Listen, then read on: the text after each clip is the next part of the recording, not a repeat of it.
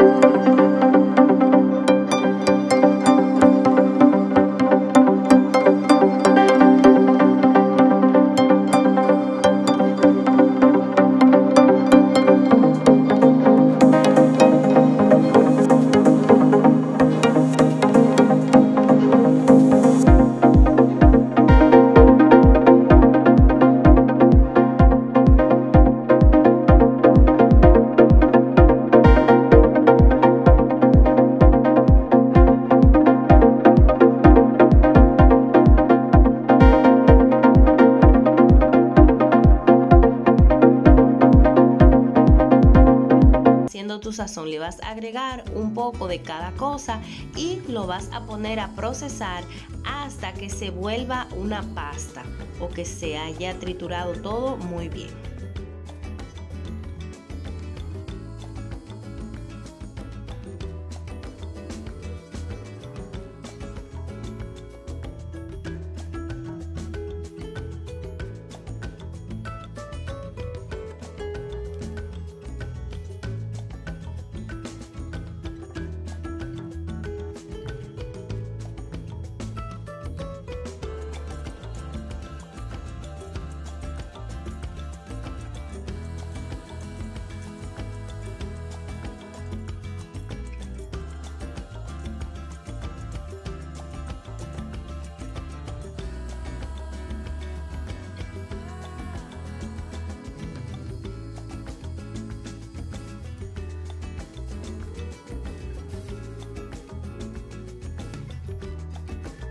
Y este es el resultado.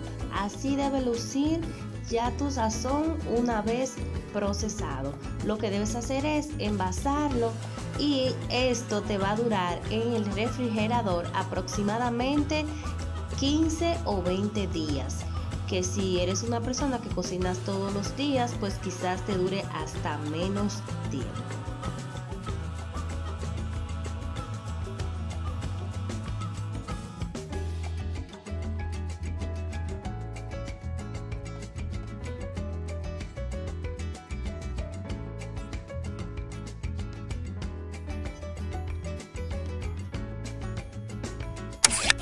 Que te haya gustado el video del día de hoy.